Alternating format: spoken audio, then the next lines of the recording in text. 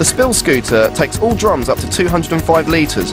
With its lightweight design and handle, it allows easy manoeuvring and also provides secondary containment for spills and drips.